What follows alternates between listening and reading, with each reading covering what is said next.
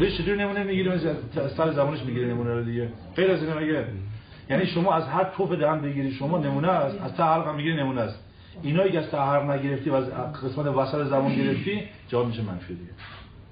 یعنی علت اینو منفی شده اینه. نه اینکه مریض کرونا نداره. من میگم از هر روز اول حرفم اینه که من 594 تا مریض کرونا هر دکتر کبیر روز اول می‌گفت داد می‌دادیم ما دیگه. آقا ما اینقدر مریض کرونایی داریم. وزارت خانه میگه نه چون شما مثبت نیستین پس ما امکانات به شما نمیدیم. روز اول داد وزارت باز بحث ما وزارت بداشتیم. بود که میگه شما مثبت ندارین صبر کنین صبر کنین صبر کنین. تو اینکه یه دفعه اعلام کردن آقا شما قانونی